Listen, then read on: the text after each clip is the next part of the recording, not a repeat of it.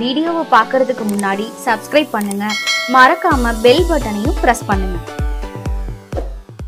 நான் எவ்வளவு முக்கியமான பிரச்சனையை எடுத்துகிட்டு வந்து உங்ககிட்ட சந்தித்தேன் நீங்கள் நீ என்ன செய்கிறது நீங்கள் நான் மேலே இருக்கிறேன் என்னை கீழே இறங்கி வா வான்னு கூப்பிட்டுட்டே இருக்கிறீங்க. அவர் வந்து தம்பி விஜய் போல் ஒரு அசாத்திய திறமை உள்ள ஒரு கலைஞர். பாடுவார் ஆடுவார் நடிப்பார். அவரே கதை எழுதுவார் இயக்குற திறன் இருக்குது இசையமைக்கிற திறன் இருக்குது. அவன் சிறு வயதிலிருந்தே அதிலே ஊறி போன ஒரு இளைஞன். எல்லா திறனும் எல்லா கலைஞருக்கும் வாய்க்கு பெறுவது இல்லை.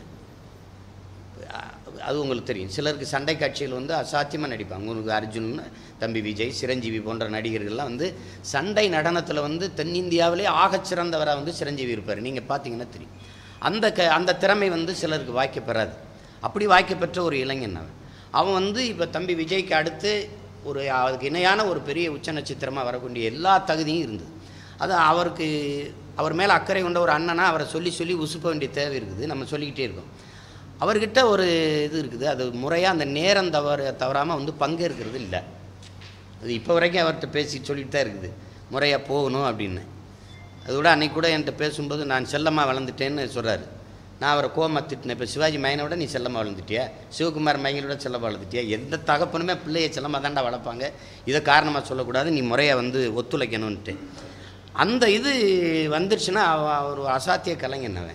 அப்படி விட்டுற முடியாது. நம்ம பிள்ளை ஒருத்தன் ஒருத்தர் ஒரு ஒருத்தர் தயாரியாகி வ ஒருத்தர் வர்றது அரிதாக இருக்குது வந்துட்டவர் வீழக்கூடாது.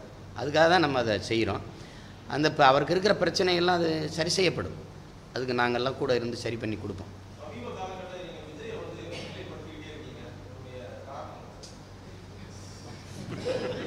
நான் முன்னிலைப்படுத்தி தான் அவர் முன்னணி முன் முன்னிலை ஆகணுமா அவர் முன்னணியில் தானே இருக்காரு?